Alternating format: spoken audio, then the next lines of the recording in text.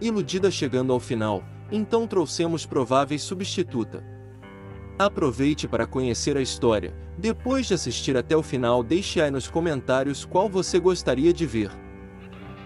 Nesse vídeo estarei trazendo 5 novelas que podem substituir a novela turca iludida atualmente exibida no TNT Novelas.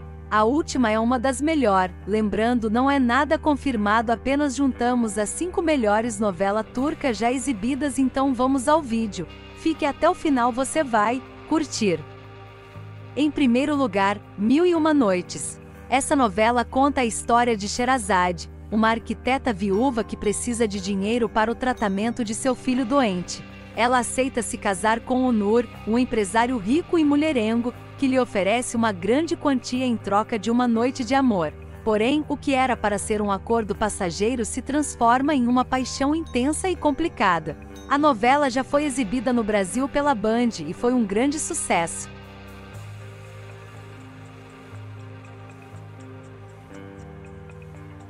Em segundo lugar, Amor Proibido.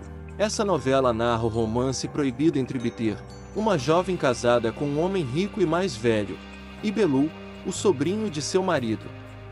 Os dois se envolvem em uma relação secreta e perigosa, que pode colocar em risco suas vidas e as de suas famílias.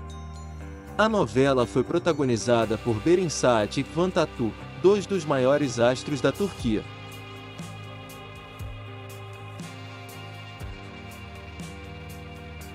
Em terceiro lugar, Fatima Gul. Essa novela aborda o drama de Fatima Gul, uma jovem que é estuprada por quatro homens em uma noite. Um deles é Kerim, que se casa com ela para protegê-la da vergonha e da vingança dos outros. Porém, o casamento forçado se torna um desafio para os dois, que precisam lidar com o trauma, o preconceito e a busca por justiça. A novela também foi transmitida no Brasil pela Band e teve uma ótima audiência.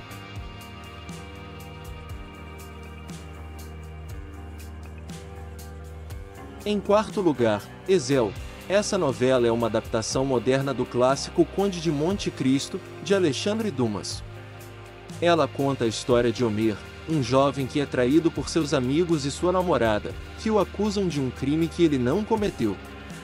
Após passar anos na prisão, ele escapa e assume uma nova identidade, Ezel, um homem rico e sedutor, que volta para se vingar de todos que o fizeram sofrer.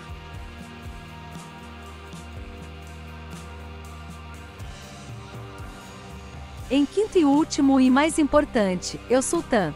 Essa novela é uma superprodução histórica que retrata a vida de Suleiman, o Magnífico, o maior sultão do Império Otomano. A novela mostra as conquistas, as intrigas, as guerras e os amores do sultão, especialmente sua paixão por Urren, uma escrava que se torna sua esposa e sua maior aliada.